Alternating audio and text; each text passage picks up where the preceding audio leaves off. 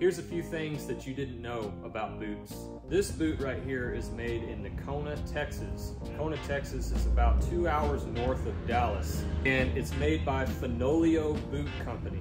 Fenoglio is the last name of a family that settled in Nocona, Texas in 1886. They started making boots for the famous Nocona Boot Company. As a leather craftsman, I appreciate every single leather option that they've picked out for their catalog of boots. This is just a few of the leather options that they offer. For this particular boot, we've done a rough out side, which is this suede side, and then we flip it over to do the smooth side.